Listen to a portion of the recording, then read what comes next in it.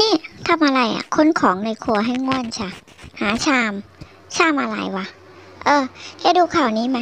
นี่นะ สาวคนเนี้ยเขาข้องใจแม่ผัว เออ ถึงผัวด้วย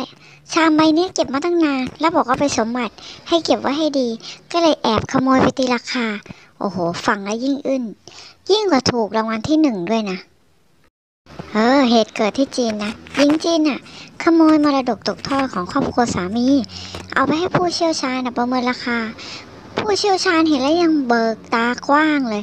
ยิ่งอึ้งเมื่อรู้ว่าตัวตนที่แท้จริงอะ ของบรรพบุรุษสามีเป็นไง ตลาดของเก่ามีเรื่องให้ตื่นเต้นอยู่เสมอเลยนะ ของจริงอะมีน้อยของปลอมเยอะแยะ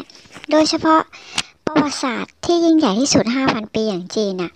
นั่นนะเป็นเหตุผลที่สถานีโทรทัศน์ China Central Television อะเปิดตัวรายการที่ให้ผู้เชี่ยวชาญอะมาพิสูจน์ของว่าจริงหรือก็ปลอม เป็นที่นิยม แล้วตอนนี้บรรยากาศที่ชวนสงสัยและน่าทึ่งก็มาแล้วล่าสุดมีผู้หญิงคนหนึ่งมาออกรายการ พร้อมกับนำชามกระเบื้อง มาให้ผู้เชี่ยวชาญประเมิน เธอบอกว่า ชามใบนี้เป็นสมบัติตกทอดของครอบครัวสามี และก็เห็นว่าเก็บมาหลายชั่วอายุคนแล้วนะ แต่ก็ไม่รู้ว่ามันมาจากที่ไหน อยากจะรู้ว่ามาจากที่ไหนยังไง แต่กลับไม่มีใครรู้คุณค่าที่แท้จริง เธอบอกว่า รู้สึกอยากรู้อยากเห็นมาก จึงตัดสินใจขโมยชาม แล้วก็แอบติดต่อขอเข้าร่วมรายการ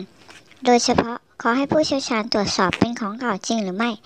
แต่หลังจากที่ผู้เชี่ยวชาญได้รับชามก็เริ่มตรวจพิจารณาอย่างละเอียดผ่านแว่นขยาย แล้วก็มีสีหน้าเข่งขรึม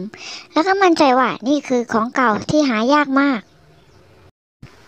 ชามใบเนี้ยนะ มีรูปแบบและลวดลายซึ่งดูซับซ้อน โอ้โห ผู้เชี่ยวชาญยืนยันว่านี่คือเครื่องหมายคำที่มีชื่อเสียง เพราะว่ารูปทรงการเคลือบวัสดุและก็สีเขียว เทียบเท่ากับหยก จึงมีความสวยงามแล้วก็น่าดึงดูด เป็นที่โปรดปรานและชื่นชมของราชสำนักในสมัยโบราณเลยเชื่อว่าชามเนี่ยมีอายุราว7ถึง800 ปี ผู้เชี่ยวชาญบอกว่า แม้ว่าเขาอะจะเป็นคนในวงการของเก่า แต่ก็เคยเจอของแบบนี้ไม่เกิน 10 ชิ้นนะ จากนั้นก็หันไปถามหญิงสาวว่า รู้ไหมว่าครอบครัวสามีอะได้ชามมาจากไหน เธอก็ตอบว่าสามีของเธอเป็นลูกหลานของลู่ซิลฟู และชามใบเนี้ยก็ตกทอดมาจากบรรพบุรุษเมื่อได้ยินชื่อลูซิฟูนะเราผู้เชี่ยวชาญก็ต่างเบิกตากว้าง แล้วก็บอกไม่อยากจะเชื่อ เหตุผลก็คือ ท่านคือรัฐบุรุษและผู้บัญชาการทหาร ผู้ที่มีชื่อเสียง ในราชวงศ์ซ่ง เป็นหนึ่งในผู้นำต่อสู้ในการลุกลานของกองทัพมองโก และหากชามนี้เป็นของท่านเนี่ยนะ จะมีมูลค่าทวีคูณ หญิงสาวก็รอผลการประเมินอย่างใจจดจ่อหลังจากนั้นผู้เชี่ยวชาญก็บอกว่า ชามใบนี้คาดว่าจะมีมูลค่า 3 ล้านหยวน หรือประมาณเกือบ 15 ล้านบาทใช่นะ เป็นอย่างต่ำนะ เมื่อได้ยินหญิงสาวก็อดไม่ได้ที่จะประหลาดใจแล้วก็มีความสุข เธอไม่คาดว่าสิ่งของเล็กๆ ที่เก็บไว้ในบ้านอะจะมีมูลค่ามหาศาลเช่นนี้ สุดท้ายผู้เชี่ยวชาญจึงพูดติดตลกว่า ไม่กลัวเหรอ ครอบครัวของสามีอะถ้าเขารู้เขาจะด่าหรือเปล่าที่ขโมยมรดกตกทอดออกมา แต่เธอก็ตอบกลับ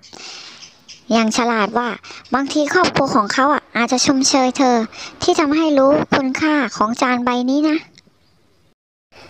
ถ้าชอบช่วยกดไลค์ กดแชร์ กดติดตามมีที่มา พบกันคลิปหน้าจ้า